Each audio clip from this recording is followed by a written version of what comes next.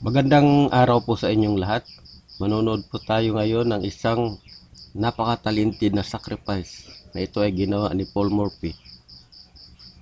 Ang makakalaban niya po dito ay si Eastward, isang chess master noong 18th century. Ang laban nilang ito ay naganap sa Paris, France noong 1858.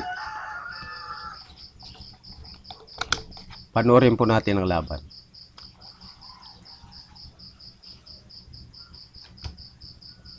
E4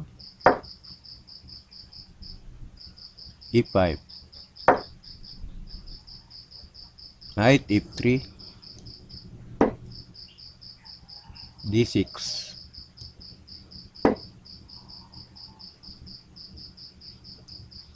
Ang tawag po sa opening na ito ay Philidor's Defense. Yan po ang tawag sa opening.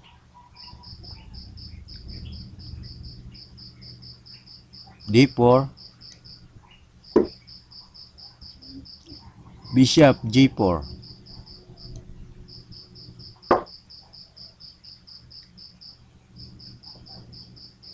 D takes E5 Bishop takes F3 Queen takes F3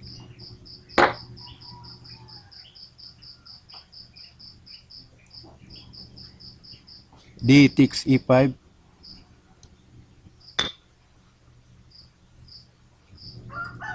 Bishop C4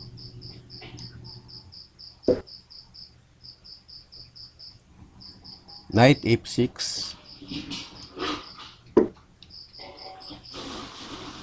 Queen B3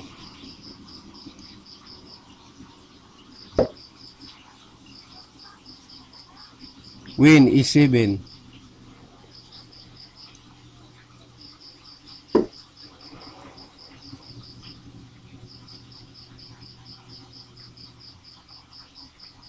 Knight C3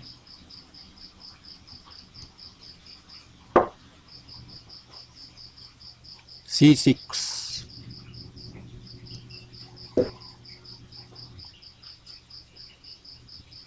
Bishop G5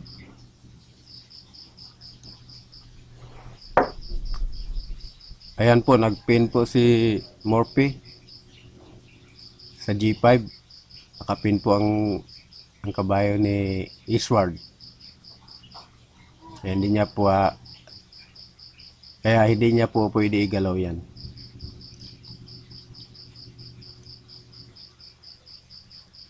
B5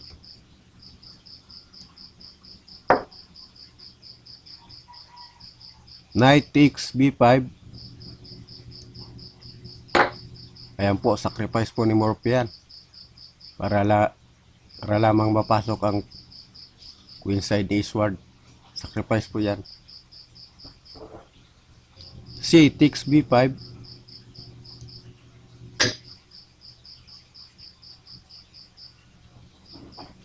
Bishop takes B5 check.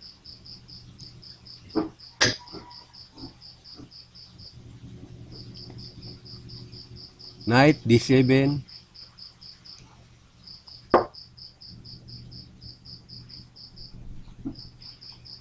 Morphe castling queen side.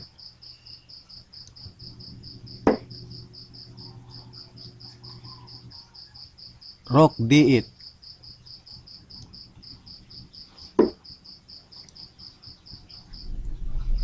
Rock takes D7 Ayan po, panibagong sacrifice yan. Kasi sa chess po, mas mataas ang ang rock. Ang points ng rock kaysa sa kabayo. Kasi ang ang rock po, 5 points po yan. Ngayon, ang kabayo, 3 points lang po yan. Kaya masasabi po natin sacrifice yan. Rock takes D7.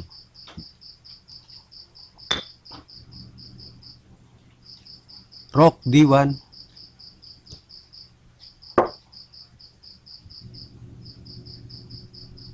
Queen E6. Ito naman po, itong Queen ni Sword, itinaas niya para para yung kabayo niya hindi nakapin. Para iwas doon sa pin, kabayo. Para in case na magka magkakainan dito, maigalaw niya yung kabayo niya. Makatulong doon sa makatulong doon sa suporta dito sa D7. At ito pong posisyon na ito, ah, ipapuzzle ko po ito sa inyo. Sa loob ng 3 moves, mati po si Iswar dito. Pag-isipan po ninyo. Sa loob po ng 3 moves. Bibigyan ko po kayo ng isang minuto para pag-isipan kung paano namati si Isward.